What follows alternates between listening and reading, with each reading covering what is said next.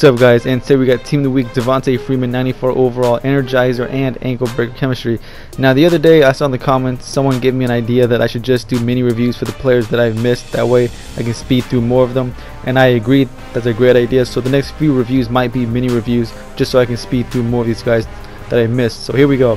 5 foot 8 92 speed 93 agility 93 ball carry 94 juke 80 truck 90 carry 91 accel and 94 elusiveness now on paper, he's very elusive. Obviously, you see right there the spin, the juke, man. On paper, he's got everything you want, and even though he's not really much of a power back, should not be be much of a surprise.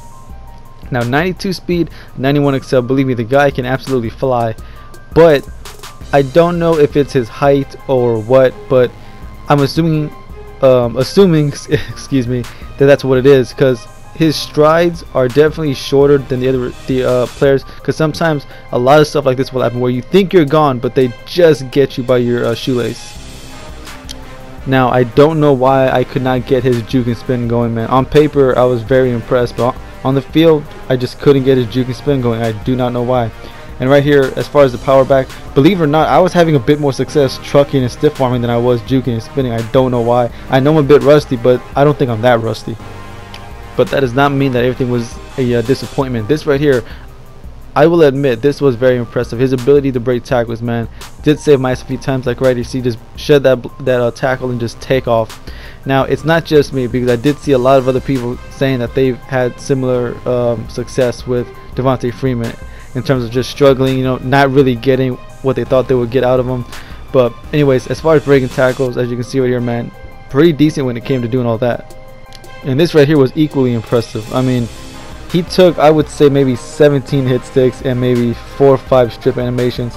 Now, unfortunately, he did fumble 3 times. And I know you guys might think that, you know, that's a lot. But when you factor in that he's getting hit by guys like Clowney, by Brian Dawkins, you know, so on and so forth. The fact that he can get hit 17 times and only fumble 3 times, that's really not a terrible percentage, really. And of course, the most uh, consistent part of his game was running up the middle. I was getting big chunks of yards at a time with this.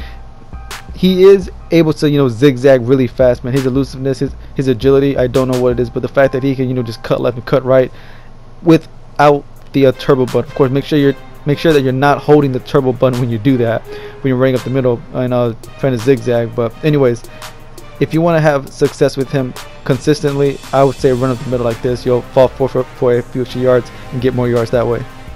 So all in all, guys, a little disappointing. I was really hoping he'd be able to be like a top five back, but I just didn't see it. I'm sorry, guys, but if his price ever drops like maybe 120 or 100, then I say go for it. But right now, I just don't think he's worth 200k. But anyways, guys, there will not be a video tomorrow because I will not be home tomorrow. I hope you guys have a Merry Christmas. I'll do my best to drop another video in a couple hours to uh, make up for it. But anyways, guys, if you like what you saw, don't forget to like, spread awareness, comment to voice your opinion, and subscribe so you'll be up to date with the content when it drops. And I'll see you boys later. Peace.